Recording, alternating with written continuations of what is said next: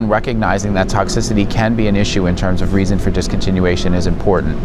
I think that the more community oncologists become accustomed to using drugs like ibrutinib and idelalisib, the better everyone gets at managing toxicity, myself included. Um, we recognize these things earlier, we develop strategies for appropriate medical management, and I actually think, you know, it's not part of our abstract, but a message here is that toxicity can be managed and that um, in many cases patients can continue to do well if we recognize these things appropriately. But in the setting of toxicity that's unacceptable to a patient or that's medically uh, difficult to, to um, rationalize continuing the medication, that there are alternate strategies that can be considered